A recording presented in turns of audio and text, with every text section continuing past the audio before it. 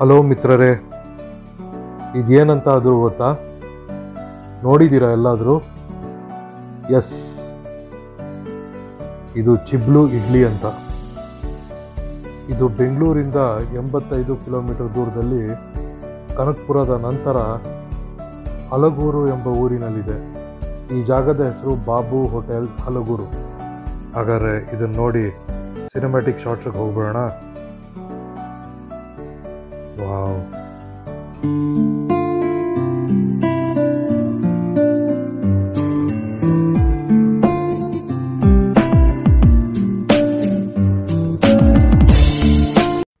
ಇಡ್ಲಿ ಜೊತೆ ಚಟ್ನಿ, ಮೀಡಿಯಂ ಖಾರ, ಆಲೂಗಡ್ಡೆ ಪಲ್ಯ, ವಡೆ.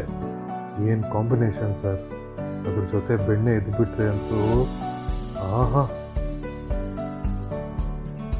ಬಾಯಲ್ಲಿ ನೀರು ಬರ್ತಾ ಇದೆಯಲ್ಲ? अट्टपुट्ट मसाल दोसा है ambient Chitrana, in a famous dishes.